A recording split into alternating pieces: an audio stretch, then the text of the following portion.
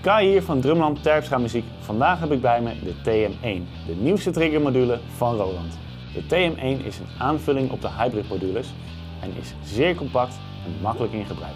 Wat de TM1 zo bijzonder maakt is dat het een floor model is. Dit houdt in dat je met je voeten kan bedienen. Zo kan je bijvoorbeeld van kit switchen of sounds muten terwijl je gewoon door spelen. Op de achterkant van de module vinden we onder andere twee trigger-ingangen. Hierop kunnen twee mono-triggers worden aangesloten of één stereo-trigger. Dit kan bijvoorbeeld een akoestische trigger zijn of een van de Roland pads. Standaard is de module uitgerust met talloze preset sounds, maar je kan uiteraard je eigen samples uploaden via de Editor app.